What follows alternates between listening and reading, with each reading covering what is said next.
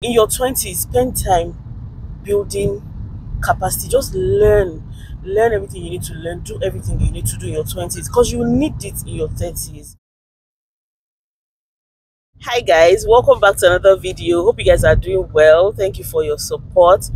So today i just want to talk to you guys about am i is it a rant? It's a motivational video anyways but i just want to talk about some things that i wish i knew in my 20s like four major things i wish i knew in my 20s guys. So let's get into the video. Firstly i'm going to say when i was 20 when i was about in my 20s my early 20s or in fact when i was in my 20s generally i wish i saved more. I wish i prioritized savings a lot more. Because now looking at the all of the frivolous spendings all of the silly things i did with money i'm actually really really pissed with myself. Like i should have just known better. I should have said, but anyway we shouldn't look at the past that the past is gone you know. But um for you guys that are still in your 20s prioritize saving. Trust me you're going to need it in your 30s you're going to need all that money. All of the money you're spending to you know to look to be your flick your your makeup. You spend um a whole lot of money on your clothes your makeup all of those things. Will not even you those clothes will fade away or you give them away after a couple of years you will need that money. So save where you can save. If you are working right if you are working save. Even if you're in school or if you're not working try to save because you need money when you get to your 30s guys. Another thing i wish i knew in my 20s hmm, mind your business. Always mind your business. I wish i knew to face my front and just mind my business right? Because no matter how you look at it you can try your best to make everything work out well.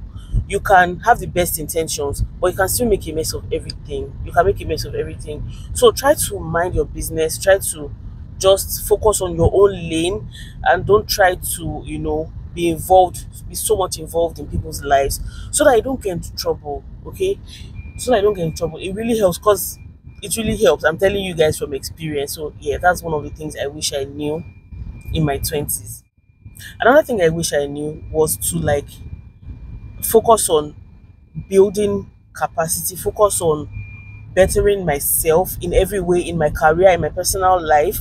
I wish I spent time learning a lot of things. Like I, I have a video where I talked about, you know, um, wishing I had done certain things in my fashion business. I wish I had done a couple of trainings that I didn't do. I wish I had gone you know, under the mentorship of certain people in my 20s. I mean, it's not really a regret, but if I had done it, it would have been better for me. Okay, so I, I feel like in your 20s, spend time building capacity. Just learn. Learn everything you need to learn. Do everything you need to do in your 20s because you need it in your 30s.